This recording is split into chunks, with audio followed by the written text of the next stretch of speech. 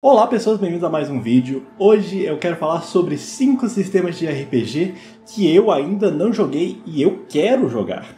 Vamos lá, em quinto nós iremos falar sobre o nosso querido Kids on Bikes. Kids on Bikes ele é um sistema que se baseia naquele cenário de crianças contra o paranormal, como Stranger Things, It a Coisa, Scooby-Doo, esses cenários, assim, que você vai ter pessoas que não têm experiência nenhuma, são crianças, lutando contra algo completamente fora do patamar delas. E bem, se você quiser uma campanha sobre usando esse sistema, eu vou recomendar a Cápsula do Tempo. Eu não assisti inteira, mas ninguém nunca falou mal desse RPG, então vou recomendar cegamente sim. Mas o mais interessante desse sistema é a mecânica de rolagens, que em vez de você dar pontos em cada atributo, você vai colocar um dado em cada atributo que vai ser o dado que você irá rolar para os testes daquele atributo, indo do D4 até o D12. Então D4, D6, D8, D10, D12. Se não me engano é isso. E se você rolar o máximo no dado, você pode rolar o dado de novo e quantas vezes você tirar o máximo. Então tipo, ah, eu tirei máximo, rodei de novo, tirei máximo, então você vai e roda mais um. E continua assim até você parar de tirar máximo. Que é o que eles chamam de estourar o dado. O próximo que eu quero falar sobre é um, é um sistema brasileiro, é o nosso querido Tormenta, que eu acabei lendo uma parte do livro de regras e tal. Eu tenho que ler mais, eu tenho que para pegar realmente como é que joga. Mas o cenário é interessante, é um RPG brasileiro, um RPG medieval, e eu gosto muito do cenário de fantasia. É um cenário que, querendo ou não, vou ter um carinho a mais, porque eu comecei jogando RPG pelo cenário de fantasia, com D&D e tal. Então, é um cenário que eu quero jogar, mas me falta mesa, porque eu quero jogar. Não quero mestrar por enquanto. Eu quero jogar Tormenta, não mestrar. Eu tenho pelo menos já três personagens diferentes que eu fiz é, os conceitos baseados é, nas raças que tem nas espécies e classes que tem Tormenta. Então, na moral, me chama aí para uma mesa de Tormenta que eu, que eu, que eu tenho já personagem aqui, só tem que fazer a ficha mas aí fica tudo certinho, faço a ficha perfeita para vocês. O terceiro que eu vou falar sobre é Vampiro a Máscara, que eu não sei, não cheguei a jogar.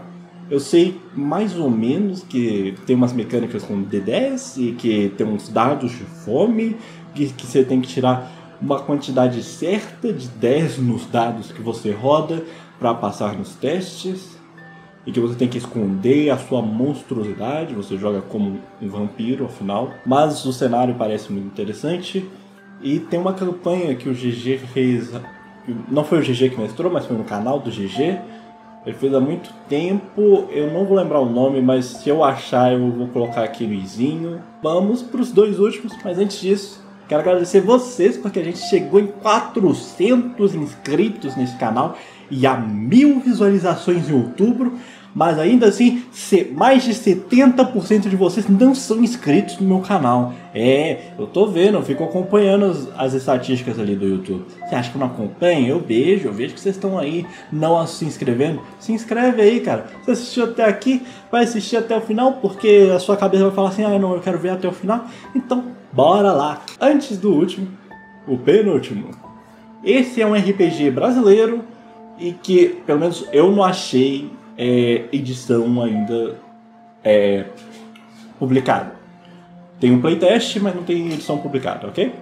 Que é o Solaria, que o que me cativou nesse sistema, eu não olhei as mecânicas ainda, mas me cativou muito o cenário, que é um cenário de Solar Punk. Acho que é esse o nome que dão. Se não for, é outro nome, mas o negócio é que em vez de ser igual ao Cyberpunk, em que é uma distopia, em que as pessoas que o mundo foi pra merda, a poluição tá uma bosta, não existe mais água, foda-se. É um cenário mais otimista, em que a tecnologia foi utilizada a favor da natureza, para conservar a natureza. E nós, seres humanos, vivemos pacificamente com a natureza. O que é um cenário que eu acho muito legal, eu gosto muito dessa ideia de contraste com o cyberpunk. Então, é por isso que me cativou e tá aqui nessa lista. Eu ainda quero jogar, mas me falta mesa, me falta tempo também.